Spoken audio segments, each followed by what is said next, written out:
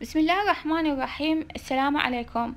اليوم حبيت أشارككم تقريبا نهاية شهر الخامس آه، لاحظنا سقوط آه، موجة من الثلوج آه، كانت سريعة ومفاجئة. وأنا بصراحة خفت على جامة السيارة لأن كانت أحجامها كبار بادرت بسرعة للمخزن حتى أحاول أشوف كاربت أو شغلة أخليها على الجامة بس لقيت هذني اللي أنا غاسلتهم قبل فترة ومنشفتهم آه، بالرغم إنه أني كنت شاعرة شوية بالتوتر لأن بالصدفة قبل فترة شفت على اليوتيوب آه، يعني آه، يشتكون من تساقط الثلوج تكون على شكل أحجار ومدمرة سياراتهم ومسببت لهم ضرر.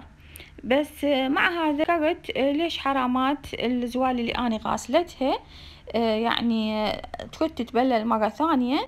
آه، خطر على بالي إنه هاي آخر زولية ضالة عندنا آه، ما مغسولة بسبب كانت فترة امتحانات. فاليوم قررت من دا أغسلها أشارككم الفيديو طريقة غسلها. فبصراحة أنا مدى أعتمد الطريقة اللي متعودين عليها نفرشها بالأرضية ونخلي عليها وفرة من مواد التنظيف وحتى نقلبها ونغسلها من الظهر.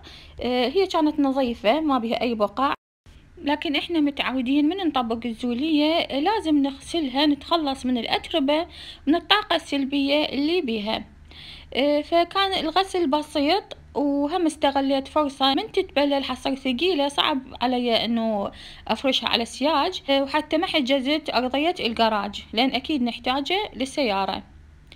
بطبيعة الحال أنا مدى أشارككم كل مراحل التصوير آه، للسهولة إلي أكيد حتى فعلا أنطيها حقها بالتنظيف.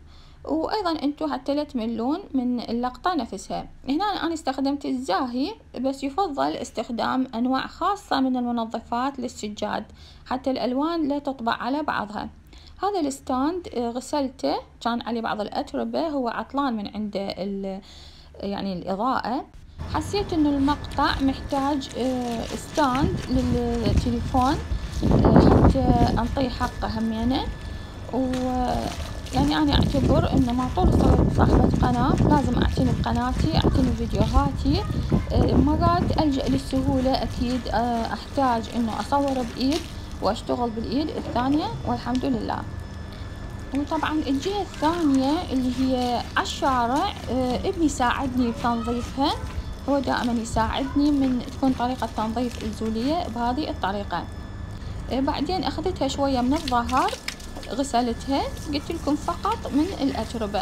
آه، ما عندي نية ألح وياها بالغسل هم أنا ما أسرف المي وأفيض الشارع يعني آه، أراعي كل الظروف. هنا بعد ما آه، تركتها تيبس وأكيد مناطقنا نهتم بيها. يعني ما نخلي مي أزيد من اللازم لأن أنا بعد غسلت هذني الكاربيتات وغسلت الطارمة فاكتفيت بهذا المقدار من الماء. الفيديو لهذا اليوم كان عبارة عن تنظيف الزولية ومقطع عن الثلج. آه، يا رب يجعل أمطارنا كلها خير علينا ورحمة والثلوج أيضا. آه، ثلوج نستمتع بشكلها. إحنا مو كلش نألف منظر الثلوج مثل الخارج. فيا رب هي ثلوج رحمة على الجميع. وهذا الفيديو لهذا اليوم أتمنى عجبكم شكرا للمتابعة. مع السلامة.